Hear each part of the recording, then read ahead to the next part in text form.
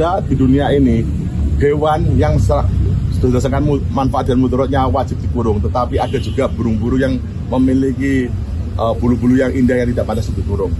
Para terdakwa adalah salah satunya. Contoh di antara hal seperti itu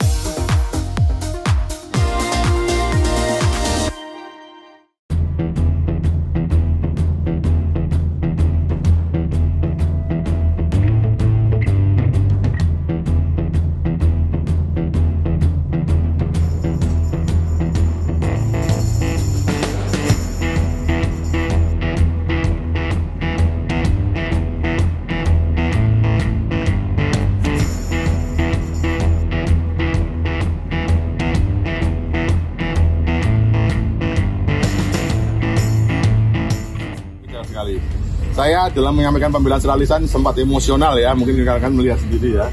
Karena dalam hal itu saya saya orang yang sangat mengenal sendiri bagaimana karakter Riko, bagaimana karakter Putra Siregar. Anak-anak ini bukan orang jahat. Anak-anak ini adalah orang yang tumbuh tanpa kasih sayang orang tua, dibimbing orang tua, namun berhasil mandiri.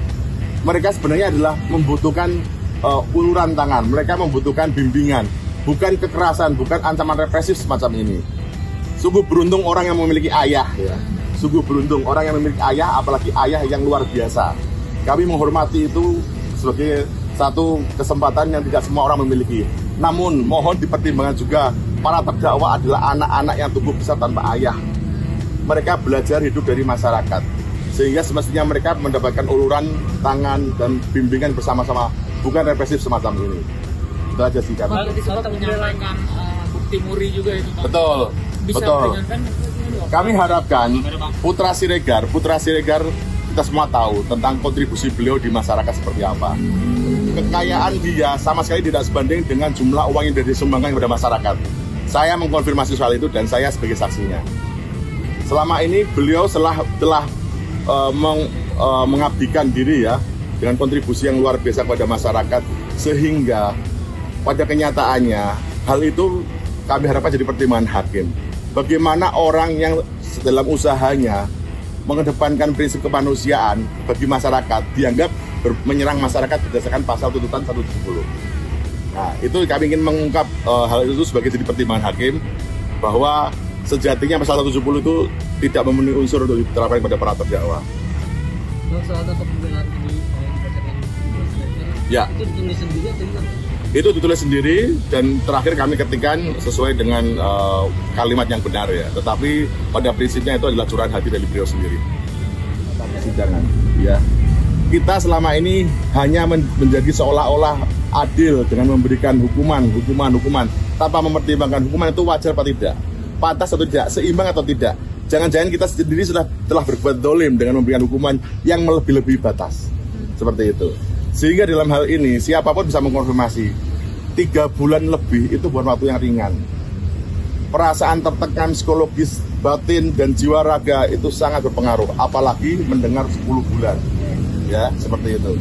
Tentu itu akan berakibat eh, pada psikologis para terdakwa, ya seperti itu. Apalagi terhadap perkara yang semacam ini.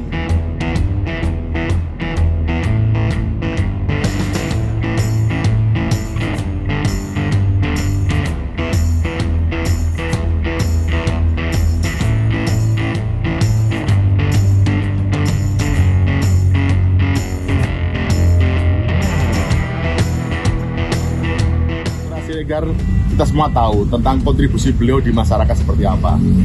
Kekayaan dia sama sekali tidak sebanding dengan jumlah uang yang disumbangkan kepada masyarakat. Saya mengkonfirmasi soal itu dan saya sebagai saksinya. Selama ini beliau telah telah eh, meng- eh, mengabdikan diri ya dengan kontribusi yang luar biasa kepada masyarakat sehingga pada kenyataannya hal itu kami harapkan jadi pertimbangan hakim. Bagaimana orang yang dalam usahanya mengedepankan prinsip kemanusiaan bagi masyarakat dianggap menyerang masyarakat berdasarkan pasal tuntutan 170. Nah, itu kami ingin mengungkap eh, hal itu sebagai jadi pertimbangan hakim bahwa sejatinya pasal 170 itu tidak memenuhi unsur untuk diterapkan kepada para Ada di dunia ini hewan yang berdasarkan manfaat dan mudaratnya wajib dikurung, tetapi ada juga burung-burung yang memiliki eh, bulu-bulu yang indah yang tidak pantas dikurung. Para terdakwa adalah salah satunya, contoh di antara hal tersebut.